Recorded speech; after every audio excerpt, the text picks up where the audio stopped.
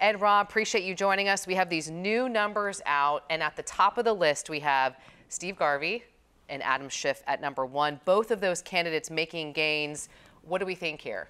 I think if Steve can raise the money, he can get into the election in the fall. He's uh, not, he's an unknown. Uh, his his position on many issues are unknown. But I think the Reaps are uh, in California, statewide Reaps anyway, are struggling to find somebody that is a bright shining star. And we talked a little bit about Schwarzenegger before. But uh, you know, somebody that's different, somebody out of the mainstream, someone who's not the controller, or the uh, uh, you know, some other uh, statewide officer, not a senator. But I, I think he's got potential. I really do. Adam Schiff has got the cash, and that's going to be his great thing going forward. And anytime Arnold Schwarzenegger comes up, we have to talk about you were there front and center for the campaign yeah. and the administration. Steve Garvey, fair comparison to Arnold Schwarzenegger? I, I don't think so. Well, I mean, there's no comparison yeah. to Arnold in terms of the fame, especially 20 years ago when he ran. There, but there's a key difference here between running for governor, especially in a recall, and running for United States Senate. Uh, when you see Republicans get elected in, in blue states, it's usually for governor mm-hmm. to, to correct something inside the state. This is the United States Senate, a Senate that'll be in a toss up condition when these elections go forward. So, this is a vote for who's going to control the United States Senate. I find it very difficult to believe that Democrat voters are not going to do anything but stay home mm-hmm. To ensure that they, you know, hopefully Chuck Schumer continues to be the majority leader of the U.S. Senate. Right. So there's a complicated, you can have a good candidate like Garvey, maybe, we don't know yet, but he may be, mm-hmm. and he could be a maverick, and he could overperform, but it's going to be very difficult in California to win the seat. Well, I also found it interesting, too, because our poll, when we asked who do you trust on the issues, when it came to immigration, the economy, homelessness, Adam Schiff, you talked about the money, the right. endorsements, some name ID, and Steve Garvey, no record in politics, right. but that's who right. people, according to our poll, trust. Well, no record in politics might be the key right now. There, that's people true. are looking for. Yeah, look, Garvey, Garvey has that. Republicans are downtrodden. Mm-hmm. What he needs to do, and he needs to get on TV and advertise, but signal to Republican voters is like, hey, here I am. Yeah. I'm a guy for you. He hasn't taken a lot of positions on issues, but I was told by a reporter today when asked if he'd vote for Donald Trump, he would not commit to doing that. Ah. Which, you think about it, that is an extraordinary position for a Republican running for U.S. Senate to take anywhere in the country.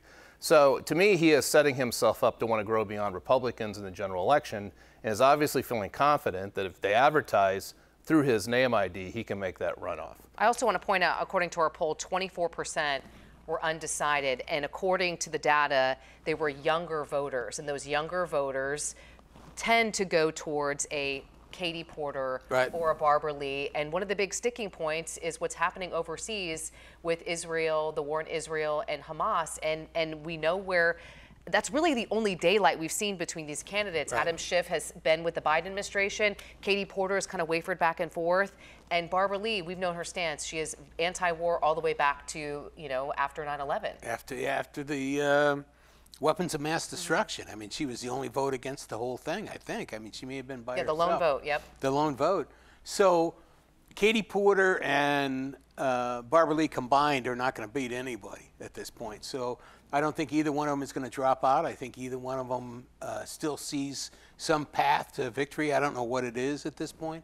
But Adam Schiff has got the uh, everything. He's, he's identifiable on homelessness. He's identifiable on Israel. He's identifiable on the Ukraine uh, war. He's got a record which he can run against uh, or run for, and the other folks have to run against. But he's going to do well in the primary. It's just Dems going to the thing uh, going to the ballot for this. The Reaps are coming in on the other side. I think Rob's right. I think there is some optimism with uh, a potential Steve Garvey campaign. He may not do well this uh, this year, and, but I think he'll get to the fall, and then maybe he's ready for governor in two years. Well, and Schiff probably wants Garvey, and also the well, national apparatus too, because yeah. they can take the money that they would spend in California fighting, you know, a Porter Schiff race and move it somewhere else. Well, the national the national Democrats don't have to spend here either way because even if you end up in a D versus D runoff, they're going to control the seat, right? If if Schiff gets to go against Garvey, uh, it, it's a much easier path. He's, you know, I'm pretty sure going to be the United States Senator, 99.9 percent. But what will be interesting, though, is Adam Schiff is one of the top public enemies of Republicans nationally because of his role in the impeachment of Donald Trump. And Steve Garvey, I think. two impeachments. Two impeachments, yeah, yeah. Steve, Steve Garvey, though, will be able to raise, I think, a boatload of money as the famous ex baseball player running against Adam Schiff. So Schiff might take a little more broadside than he would otherwise, but ultimately it's difficult to see how he doesn't go to Washington. I also too want to close moving to the presidential race because our polling showed obviously this is a blue state. President Biden is going to do well here, but the numbers since his last election have declined. How do you react to that being the Dem at the table here? I think uh, uh, polling is always a little scary, and it is a snapshot of a moment in time. And Democrats have a beef with Joe Biden for a hundred reasons. You know, they're all out there. They're all out there swinging for the fences on whatever their issue might be. And if Biden is not talking about that issue today, you're going to get some Dems that are going to uh, sort of wander off, if you will. But they've got nowhere to go. Uh, they're going to come back. They're going to come back to Joe Biden. They're Uh, not going to go to a, a third-party candidate. I mean, Yeah. you have you have a Californian on the ballot with Joe Biden, and his numbers are down. Yeah, I think I think I think there may be somewhere else to go. So disclosure, I'm working on a super PAC to support a no labels ticket, and the reason that no labels may uh, name a ticket for a third option is how angry Americans are. They may have to choose between Biden and Trump again. Both of these guys are terrible candidates. They're incredibly unpopular. And this might lead to the right moment where Democrats don't want to have to go home to Biden, but might vote for something that's bipartisan, centrist, and focused on getting things done. And same with Republicans. They're not going to vote for Joe Biden, but we think there's millions of them, as we're seeing Well, we're through the primaries, that will definitely they'll vote for vote something else. uh, Donald Trump. He's a buffoon, right? And how he continues to succeed. I don't think people, Democrats, are as angry at Joe Biden as you think. But but you, but what people don't underest, what people don't understand is De- Joe Biden consolidates Republicans to Donald Trump. Republicans that don't want to vote for Donald Trump, Right. Because they're still going to vote for Donald Trump before Joe Biden, and it is ripe for at least to see how the country would react to a third option. No labels, possibly breaking some news here. Rob Right on. Stutzman. All right, we will leave it there, guys. Appreciate it as always, Rob Stutzman at Emerson.